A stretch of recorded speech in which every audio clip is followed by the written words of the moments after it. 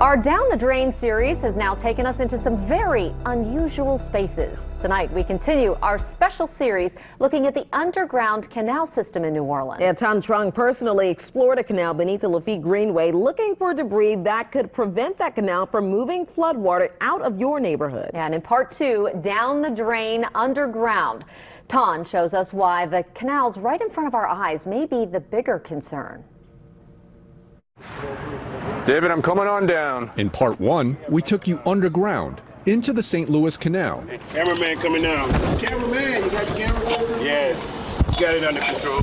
You got, you got to hold these holes and come down till you get about right here in the middle. This is solid core here, right here. There were some stumbles along the way. Whoa, whoa, whoa. Wow.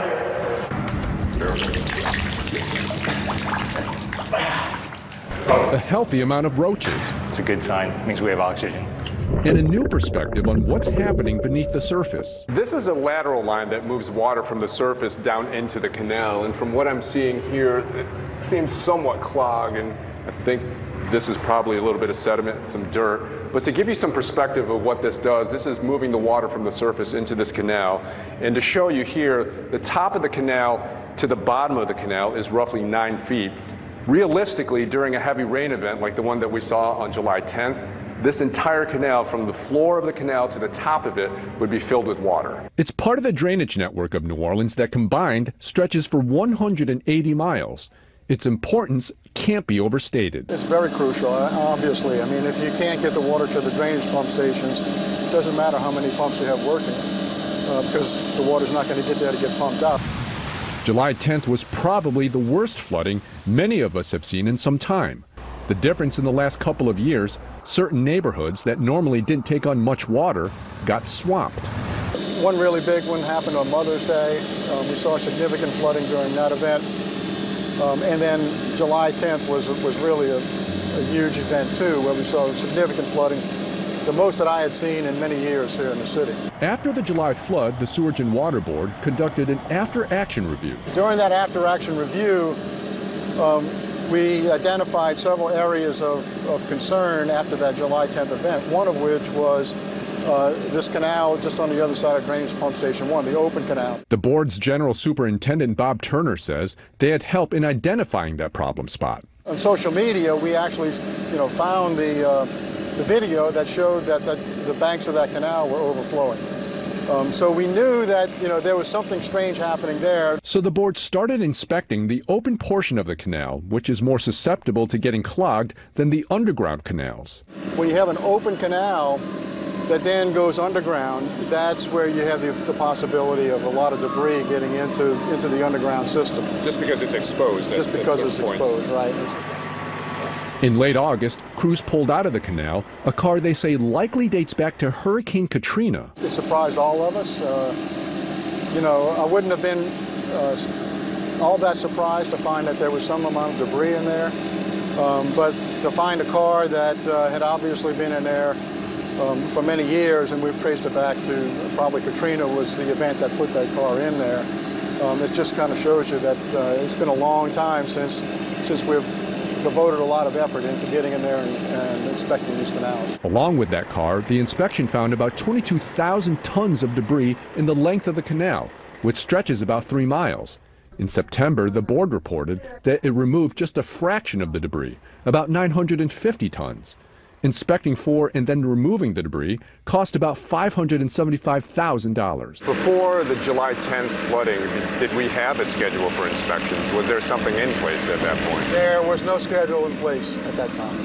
Why not? Um, I think over the years, that just fell by the wayside.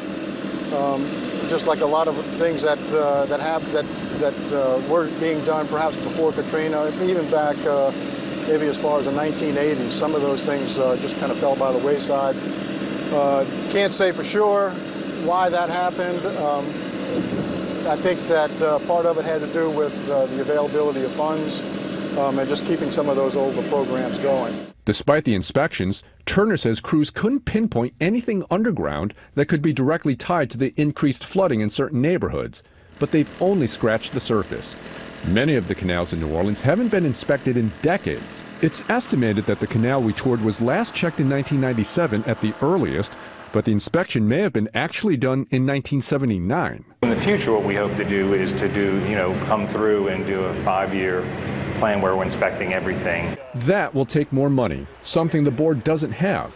If crews found 22,000 tons of debris in one canal, we can only imagine what's happening in others. We're concerned with the whole network. Of course, you know, when you have flooding that we had over the summer in areas that were not historically those that flooded, you wonder, hey, what's blocking this water? You know, what, you know, what exactly is keeping the water from the streets to getting in these underground culverts? H.J. Bosworth is a civil engineer and lead researcher for levees.org, a watchdog group on flood protection. We showed him some of the video we captured underground. It's unseen and unknown to everyone else. You know, you all went in there and saw what you saw, and you know, I'm glad that what you found was fairly clear. There are still miles and miles of this that, you know, we'd all we would all like to see nice and clean and clear, like the images right. that you showed me earlier. When you see what we're facing in terms of debris in the canals, subsurface and open canals, do you have the money to continue this inspection on a regular basis? Right now, I have some money, um, and so we're looking to see if we um, if we need to try to get some some additional work done before the end of this year. Um, we have some funds available that would have to be moved out of other areas in order to take care of that. It's safe to assume many people wouldn't have confidence in the board moving money or attention out of other areas. From water main breaks, boil water advisories to critical drainage problems, the board has its hands full. And given the multiple meltdowns going back to the Landrieu administration and beyond, the board may have a tough time getting the public to agree to a new proposed stormwater fee to get much needed projects done. We know that what was going on then is not something we should really put our trust in. What's going on now with the new leadership there and you know the new administration you know, show us that you're doing a good job and the city of New Orleans may go ahead and, you know, write a fatter check in January. Right now, we're only able to take those baby steps, okay? And, and we're, in the meantime, we're keeping everything going and we're planning for the future. Unless that future includes more money, these canals, which often go unnoticed, may go unchecked. Thanh Truong, Eyewitness News. Well, so far there's no clear timetable to when regular inspections of the canal system will take place. To see our extensive down the drain investigations, go to WWLTV.com.